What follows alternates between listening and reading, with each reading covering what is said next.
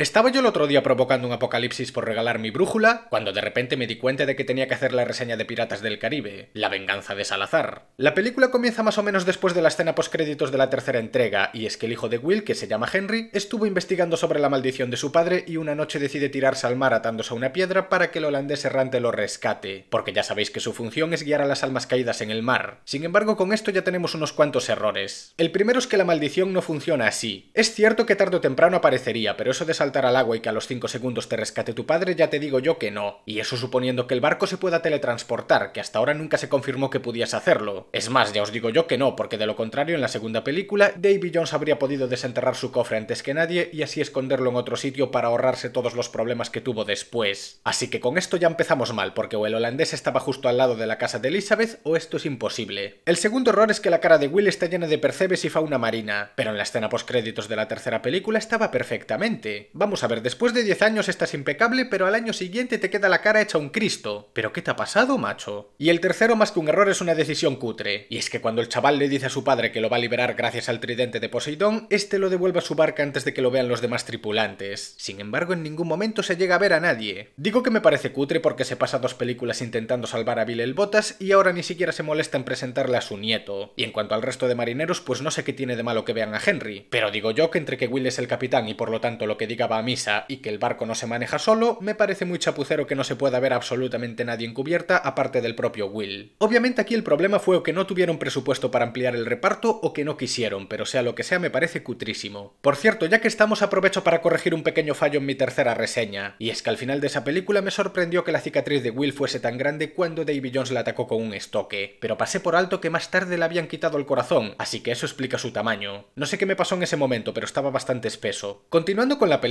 pasan nueve años y Henry trabaja como marinero de la Armada Británica, pero un día en el que estaban persiguiendo a unos piratas se acercan a un lugar muy peligroso conocido como el Triángulo del Demonio. Sin embargo, pese a las advertencias de Henry para dar la vuelta, sus superiores no le hacen ni puñetero caso y lo acaban encerrando por alborotador. Y es entonces cuando conocemos al antagonista principal, porque cuando entran en el triángulo unos fantasmas aparecen y los matan a todos. Excepto a Henry, claro, porque el capitán Salazar, que es quien los lidera, tiene la costumbre de dejar a uno con vida para que corra la voz. Pero en este caso hay un dato extra, y es que como Henry estaba buscando a Jack Sparrow para ayudar a su padre, Salazar lo reconoce por un cartel y le pide a Henry que le advierta que va a ir a por él, ya que al parecer es un fantasma por su culpa y está atrapado a causa de la brújula. Y quedaos con este detalle porque es un error argumental monstruoso, pero ya llegará el momento de comentarlo. Y antes de seguir quiero recalcar lo apresurado que me está pareciendo todo. O sea, no llevamos ni 10 minutos de película y ya conocemos tanto el aspecto del villano como la maldición que lo convierte en fantasma. En las anteriores películas siempre se tomaban un tiempo para hablarnos de la amenaza de turno, y tras presentarnos su atmósfera aparecía al cabo de un tiempo haciendo una entrada memorable. Esto pasó con Barbosa, con Davy Jones, con el Kraken e incluso con Barba Negra, que es de una película que apura en muchos momentos. Pero lo de enseñarnos a Salazar tan rápido desperdicia demasiado el factor sorpresa. Siguiendo con la historia nos ubicamos en la isla de San Martín, en donde una chica conocida como Karina va a ser ejecutada porque creen que es una bruja, pero en realidad simplemente es lista porque tiene estudios. Y tanto es así que fuerza la cerradura delante de este sacerdote y escapa de su celda. Y yo me pregunto, ¿era realmente necesario hacerlo cuando hay testigos? ¿No habría sido mejor escapar por la noche o cuando estés sola? Es que ahora por culpa de esto se lía pardísima. Paralelamente iban a inaugurar un banco en la ciudad y resulta que Jack Sparrow estaba durmiendo dentro de su caja fuerte. No me preguntéis cómo. Entonces, batiendo el récord con la mayor fantasmada de la saga, su tripulación arranca de cuajo todo el edificio y lo va arrastrando por la ciudad mientras los soldados los persiguen por todas partes y sus caminos se entrecruzan con el de Karina. Yo creo que no hacen falta explicaciones, pero aún así voy a decirlo. Esta escena de acción es tan jodidamente surrealista que no entiendo cómo pudiera darle luz verde. Hasta ahora siempre que había un conflicto o alguna persecución la cosa se salía muchísimo de madre. Unas veces era más o menos creíble y otras ya patinaban un poco. Pero esto me parece demasiado. ¿Cómo es posible que cedan antes las bases de un edificio entero que una pared de madera o las cuerdas que lo sujetan? ¿Y qué clase de caballos son capaces de arrastrar semejante estructura durante tanto tiempo y a tantísima velocidad?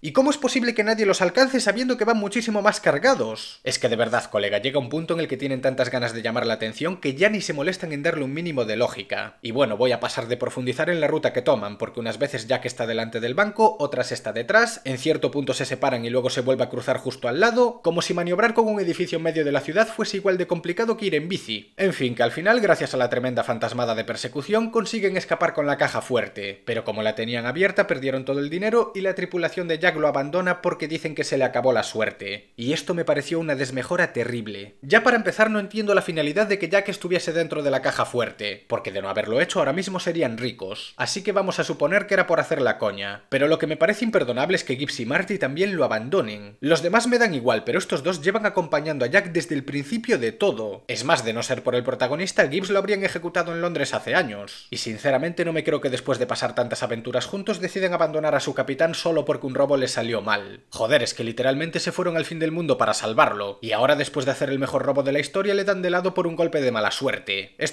absurdo y para colmo se contradice con el trasfondo de los personajes. Mientras tanto, Henry llega a San Martín y no solo nadie se cree su historia con Salazar, sino que además lo consideran un desertor y lo van a ejecutar por ello. Pero de repente llega Karina disfrazada de enfermera, le empieza a dar la chapa con el tridente de Poseidón porque le oyó hablar del tema, y al final más o menos consiguen una alianza a toda prisa poco antes de que la encierren mientras él aprovecha para escapar. ¿Os acordáis de cuando usaron al padre de Jack para explicarnos cómo funcionaba el ritual de la Fuente de la Juventud? Pues acaban de hacer exactamente lo mismo. Juntarnos a dos personajes importantes a la fuerza, ponerlos a hablar curiosamente de un artefacto mágico que los pueda ayudar a ambos y a otra cosa. Sí señor, un guion perfectamente escrito, que no se note lo forzado que está todo. El caso es que ahora que Jack está solo se va a una taberna e intercambia su brújula por una botella de ron, y esto acaba liberando a Salazar de su encierro y se va por el protagonista para vengarse. Vale, este es uno de los dos errores argumentales que no solo arruinan por completo la película, sino que me sorprendieron por la increíble dejadez que tuvieron los guionistas al no molestarse siquiera en revisar las primeras películas antes de meter la pezuña tan a lo bruto. Resulta que la famosa brújula de Jack mantenía a Salazar atrapado en el triángulo del demonio, pero ahora que ya no la tiene, los fantasmas pudieron escapar. Sin embargo, no se escaparon cuando se la quitó Norrington en la primera película, o cuando se la dio a Elizabeth en la segunda, o cuando se la quitó a Beckett en la tercera, o cuando se la dio a Will también en la tercera, o cuando se la quitó Barba Negra en la cuarta, o cuando la tenía Angélica también en la cuarta, o cuando se la dio a Gibbs también en la cuarta. Solo se liberaron cuando la cambió por bebida en la quinta, porque todas las anteriores no supusieron el más mínimo problema.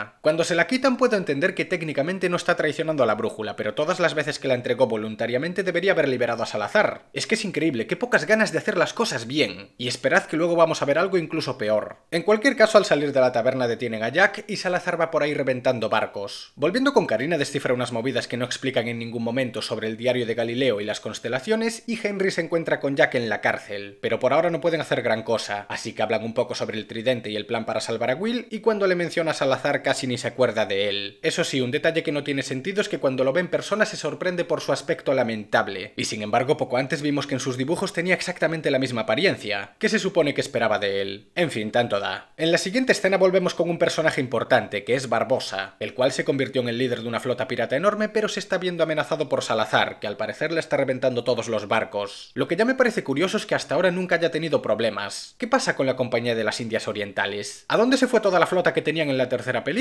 ¿Y qué hay de lo de acabar con la piratería? No tiene sentido presentarnos a una facción tan poderosa y que de repente la hagan desaparecer como si nada. En cualquier caso se va a ver una bruja para que le explique quién es Salazar y que así se justifique su participación en la película con el mínimo esfuerzo posible, tal y como llevan haciendo desde que empezó. Entonces le da la brújula de Jack, la cual consiguió por arte de magia y nunca mejor dicho, y regresamos con el protagonista, que está a punto de ser ejecutado y de repente tiene un reencuentro cómico, por decirlo de alguna manera, con un familiar que también está encerrado, que al igual que su padre antes de dedicarse a la música fue pirata, solo que aquí en vez de los Rolling Stones serían los Beatles. Lo que ya no entiendo es que los guardias se hayan parado para dejarlos hablar. O sea, tienen la orden de llevar un prisionero para que lo ejecuten y lo dejan estar de cháchara con otro prisionero. Vale que querían hacer la bromita, pero macho, que no se esfuerzan lo más mínimo para que tenga un poco de sentido. El caso es que justamente van a ejecutar a Jack y a Karina al mismo tiempo, así que después de un intento de comedia a la que la palabra lamentable se le queda corta, Henry y la tripulación de Jack intervienen y lo salvan ambos de una manera tan exageradamente absurda y saturada de chistes que paso de gastar mi tiempo en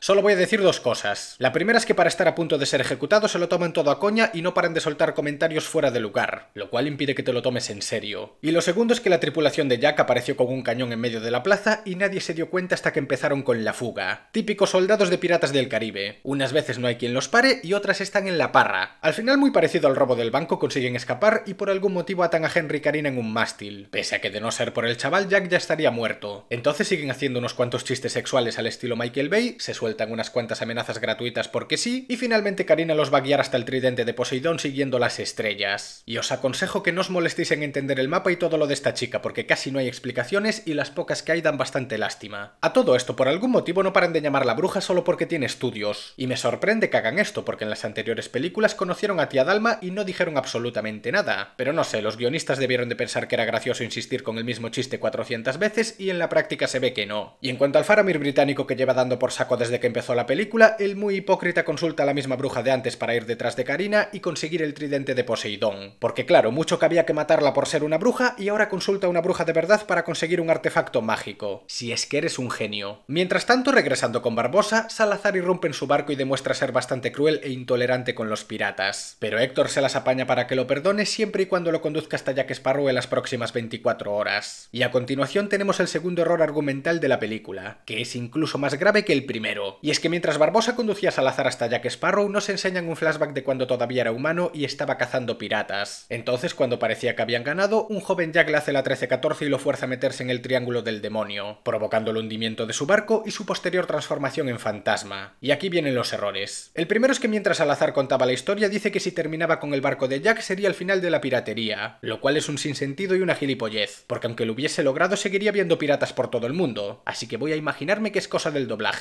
El segundo es que cuando naufraga su barco explota, y no entiendo por qué, ya que por muchos barriles de pólvora que tengan dentro, sin una mecha no hay manera de que pase eso, o sea que intuyo que Michael Bay metió mano de alguna manera en el proyecto. Y el tercero es el verdaderamente grave, porque resulta que durante el combate el capitán de Jack se murió y este le entregó la famosa brújula que tiene consigo, cargándose por completo el lore de la saga, ya que según la segunda película el artefacto se lo había entregado tía Dalma, no un capitán random que tuvo cuando era un chaval. Y con estos señores se demuestra que los responsables de esta película ni siquiera se tomaron la molestia de mirarse las anteriores antes de ponerse a trabajar en una secuela, porque lo de tomarse el trabajo en serio debe de ser mucho pedir. Es que es flipante, ya no estamos hablando de algo rebuscado que apenas afecta a la trama, es que directamente basan toda la historia en un concepto que es erróneo, con lo cual la totalidad de la película deja de tener sentido. Por muy buena que sea, esta cagada junto con la de todas las veces que dejó su brújula en el pasado, hacen que la quinta película de Piratas del Caribe sea oficialmente la peor de todas argumentalmente hablando. Y esperad que hay más. Lo de que el capitán le dé su brújula precisamente a él habiendo otros piratas más experimentados, como por ejemplo Tig, voy a suponer que es porque le tenía un cariño especial, pero lo que sí que no hay por dónde coger es lo de la maldición. ¿Qué cojones tendrá que ver el triángulo del demonio con la brújula? ¿La fabricaron dentro? ¿Hay un espíritu común que relaciona una superficie marina con un objeto de relojería? Es que es tan aleatorio que no me creo que lo hubiesen hecho sin querer. Para colmo se supone que si Jack traiciona la brújula sus mayores miedos quedarán liberados. Y una vez más no tiene sentido porque cuando Henry le habló de Salazar, Jack ni siquiera se acordaba de él, con lo cual lo más lógico sería que hubiese aparecido Davy Jones, el Kraken, los Pelegostos o algo con más de sentido. Pero por lo que a mí respecta, el único contacto que tuvo con Salazar fue en aquel combate cuando era joven. A partir de ahí no se volvió a saber más de él. En fin, esto es un puñetero desastre. Hay tantas cosas mal en tan poco tiempo que la película queda insalvable. Volviendo al presente, Barbosa ya está muy cerca del protagonista y su tripulación, demostrando una vez más lo poco que se parecen a los que conocimos en su día, expulsan al capitán junto con Henry y Karina. Así que para que no lleguen a tierra, Salazar envía unos tiburones fantasma para darles caza. Que ya me dirás de dónde salieron, porque vale, a lo mejor había tiburones en el momento que encallaron y puede que los hayan capturado después. Pero lo que no entiendo es que de ser así obedezcan sus órdenes. ¿Por qué van a por el bote una vez liberados? ¿Eran tiburones españoles o qué? En cualquier caso, como siempre, se libran de una forma ridícula y surrealista porque de tanto ir y venir Jack se las apaña para enganchar a uno de ellos y convenientemente se pone a nadar hacia tierra. Porque claro, no hay más direcciones. Tenía que ser justo hacia la salvación de los personajes. Porque al igual que Davy Jones, Salazar y compañía no puede pisar la tierra y por si no quedó claro, este fantasma se autoinmola para demostrarlo. No vaya a ser que el público no sume ni cinco neuronas entre todos. Por algún motivo, Karina se asusta muchísimo y escapa como una tonta hacia lo desconocido, haciendo que tanto ella como los demás caigan en una trampa. Porque claro, que la ejecuten no le da miedo, que la capturen unos piratas tampoco, pero unos fantasmas que no pueden pisar tierra le dan pánico. Mientras tanto, la tripulación de Jack los captura al Faramir británico y Barbosa se va a la isla para buscar a Jack. Y atentos, porque ahora tenemos uno de los momentos más patéticos de la película. Porque resulta que la trampa la puso un tipo al que Jack le debía dinero y ahora lo quiere obligar a casarse con su hermana, que es una mujer extremadamente caricaturizada que forma parte de una situación fuera de contexto, saturada con comedia absurda y que para colmo corta muchísimo el ritmo de la película. De verdad, espero que al que se le ocurrió la idea no le vuelvan a pedir la opinión. Por suerte aparece Barbosa y nos ahorra el seguir sufriendo por ver semejante esperpento. Así que tras liberar a Jack nos revela que en realidad su intención es la de conseguir el tridente para matar a Salazar y seguir siendo un pirata privilegiado. Así que libera la perla con la espada de Barba Negra, que recordemos que hasta ahora estaba dentro de una botella, y se van todos juntos hacia el tridente siguiendo las indicaciones de Karina. A su vez, tanto Gibbs como los demás escaparon del Faramir británico gracias a la uña de Scrump y al poco rato llegan a la perla. Y como nadie les guarda rencor por haberlos traicionado varias veces, pues aquí no pasó nada. Sin comentarios. Y con respecto al Faramir británico, demostrando lo importante que es en la historia, es reventado por Salazar segundos después. Y una vez más el barco explota sin ninguna razón. En vez de pólvora deben de tener nitroglicerina, porque yo no entiendo por qué cuando se rompe la madera del barco de repente empieza a explotar todo. Ah, ya lo olvidaba. Por cierto, aquí se revela un detalle importante, y es que Karina es la hija de Barbosa, pero no quiere decirle nada porque al ser un pirata la dejó en un orfanato y no volvió a saber nada de ella, pero por algún motivo la tienen mucha estima, pese a no haberse molestado en buscarla ni una sola vez. Más pronto que tarde Salazar alcanza la perla y tenemos un abordaje que debería haber sido bueno y terminó siendo tan lamentable como la participación de los británicos, porque por una parte Barbosa no usa los poderes de la espada de Barba Negra, cosa que pudo haber cambiado las tornas del abordaje, y por la otra Jack se dedica a escapar como un cobarde todo el tiempo, combinando fantasmadas y chistes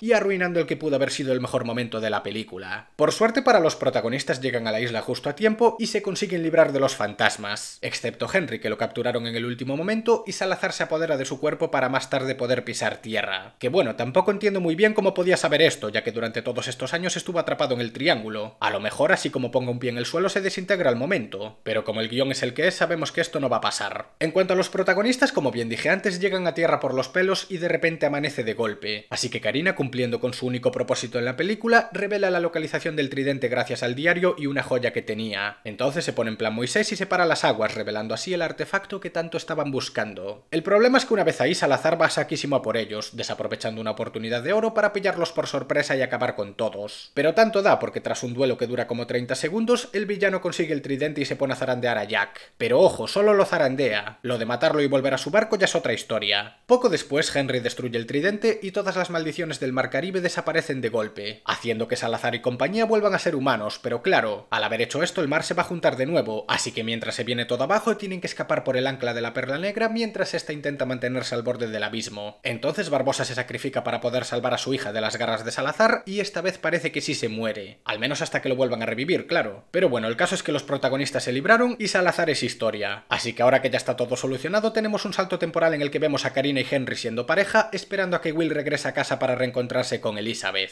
porque ahora ya no está maldito, claro. Lo que me pregunto es quién le tiñó el pelo a Elizabeth y por qué Bill el Botas no desembarcó. Es que tío, parece que no quiere conocer a su nieto. Ya para terminar, Jack vuelve a ser el capitán de la Perla Negra y recupera su brújula. Pero ojo, porque en la escena postcrédito se puede ver a Will teniendo una pesadilla en la que aparece Davy Jones para atacarlo, pero cuando vemos debajo de la cama parece que fue más real de lo que pensábamos. Con esto se pueden sacar muchas teorías, aunque la más probable es que para meter fanservice por un tubo, Davy Jones regrese a la saga. No sé cómo, ya que en teoría las maldiciones se habían roto, pero mira, viendo el rumbo que está tomando la franquicia no espero gran cosa. Durante bastante tiempo creí que la peor película de Piratas del Caribe era la cuarta, pero viéndolas todas de seguido me doy cuenta de que ni de coña. Puede que en Mareas Misteriosas sea aburrida, olvidable y con un montón de fallos, pero La venganza de Salazar, pese a ser algo más entretenida, es sin duda la peor de todas en cuanto a calidad. Simplemente le metieron más acción para que el público no se muera del asco y trajeron de vuelta personajes que sabían de sobra que aportaban mucho a la saga, pero el resultado final ya no solo nos acerca a la trilogía clásica, sino que ni siquiera llega al aprobado como película. Las únicas cosas buenas que puedo sacar es que tanto el diseño del barco de Salazar como su tripulación me parece interesante, aunque no deja de ser una mezcla entre la maldición del oro azteca y el holandés errante, pero oye, sigue siendo interesante. Aunque bastante desperdiciado a mi parecer, ya que casi no aparecen y enseguida los borran del mapa. A su vez, Barbosa mejoró con respecto a la anterior película, pero eso de no usar nunca los poderes de su espada me pareció otro desperdicio. Y para terminar, el CGI es decente casi siempre, pero hay algunos momentos en los que ya chirría un poco. Y ahora empiezan las cosas malas, que no son pocas. El ritmo es muy apresurado, hasta tal punto que casi no hay explicaciones sobre nada. Todas las veces que se encuentran Karina, Jack y Henry se sienten tan forzadas que te impiden prestar atención a lo que dicen. Y en cuanto al diario de Galileo y toda la movida de las constelaciones, directamente no te explican nada. Simplemente tienes que hacerle caso a la chica y decir que sí a todo, pero de las cinco películas, esta es sin duda la que peor justifica las acciones de los personajes.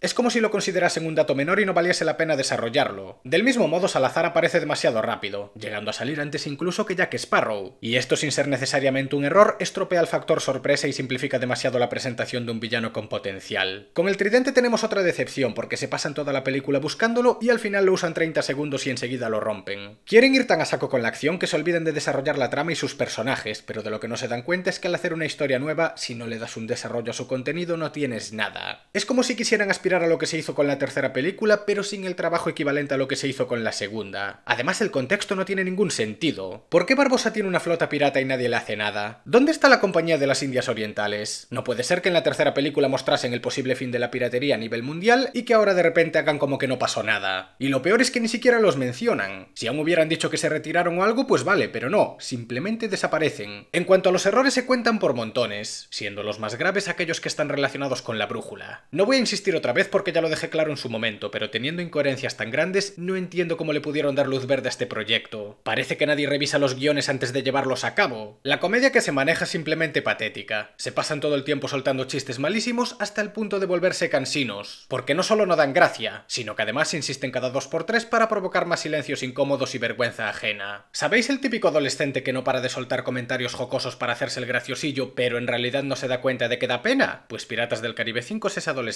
Y ya para comentar una última cosa, los personajes son horribles. Barbosa y Salazar son los únicos que se libran, pero como dije antes están desperdiciados. En cambio el resto del elenco oscila entre no aportar nada o ser directamente molestos. La tripulación de Jack parece que perdió la mitad de su coeficiente intelectual y para colmo son innecesariamente traicioneros. Pasaron de sentirse como compañeros fieles a unos sinvergüenzas que a la mínima te pegan la puñalada trapera. El Faramir británico y la bruja mala no pintan nada en la película. Están haciendo bulto y fuera. Karina y Henry son otro intento de sustituir a Willy y Elizabeth, pero peor incluso que Sirenia y el misionero. De hecho son tan irrelevantes que parecen extras. Lo único que hacen en toda la película es cumplir con un papel minimalista y hacer acto de presencia, pero analizándolos en profundidad no se sienten como personajes principales. Se nota mucho que están contratando actores jóvenes para seguir explotando la saga durante años, pero si los personajes no son interesantes de poco les va a servir. De hecho, Karina es el ejemplo perfecto de cómo no hacer un personaje femenino. ¿Os acordáis de la tercera reseña en la que comentaba cómo Elizabeth había evolucionado a lo largo de la trilogía? Pues Karina es la antítesis. Ya para empezar, toda la tontería de llamarla bruja parece más un intento de idiotizar al entorno que de ensalzar al propio personaje. Pero es que además, en vez de cumplir con su rol y destacar por sus acciones, hace todo lo contrario, que es aportar lo mínimo posible a la historia y pasarse toda la película presumiendo de ser muy inteligente y recalcar cuánto la menosprecian los hombres. Pero lo hacen de forma tan exagerada que se siente muy artificial. A Elizabeth, por ejemplo, la menospreciaron cuando se presentó en la Asamblea de los Señores Pirata y sin embargo acabó ganando la votación y liderando la batalla final. Este tipo de cosas son las que diferencian a un buen personaje de otro mediocre. Mientras Elizabeth es una chica con profundidad que se abrió paso en un mundo en donde siempre tuvo la desventaja, Karina es una pesada prepotente que prefiere colgarse medallas antes que ganárselas por sí misma. Y yo ya estoy cansado de repetir siempre lo mismo, pero si quieres que un personaje sea querido y valorado por el público, no lo obligues a autocondecorarse cada 5 minutos. Desarrollalo, porque en este caso toda su participación se pudo sustituir literalmente por un mapa y nadie se habría dado cuenta. Pero sin lugar a dudas el peor es Jack Sparrow. Yo no sé si le tenían manía a Johnny Depp o si directamente querían arruinar el personaje, pero todo lo que lo hacía grande aquí desapareció. Por algún motivo es un borracho sin propósitos en la vida, no tiene ni pajolera idea de lo que hace, se pasa toda la película improvisando mal las cosas e incluso le pide a su tripulación que le pague por salvarlo, cosa que por cierto es otro ejemplo de la comedia estúpida que se maneja en el largometraje. Para colmo solo tiene una pelea al final de todo y dura medio minuto, porque el resto de la película se la pasa escapando y diciendo sandeces. En serio, en esta entrega arruinaron por completo a Jack Sparrow, porque pasó de ser el mejor personaje de la franquicia a ser alguien penoso y desagradable. Lo único bueno del elenco es que por lo menos trajeron de vuelta unos cuantos, como Will, Elizabeth y alguno más, pero aún así no es suficiente. Por todo lo demás es una entrega insalvable. No hace falta ver ni media película para darse cuenta de que la trama está hecha un desastre. Visto lo visto, casi que prefiero leer Coma, que para los que no sepáis es un libro que escribí hace un par de años. No, en serio, echadle un ojo, que a la gente le está gustando mucho y de vez en cuando viene bien recordaros mis trabajos fuera de YouTube. En cuanto a la venganza de Salazar, pues qué decir. No es la entrega más aburrida, pero en términos generales es la peor película de del Caribe. Y si os digo la verdad, creo que la saga tiene un destino tan oscuro como el de Terminator.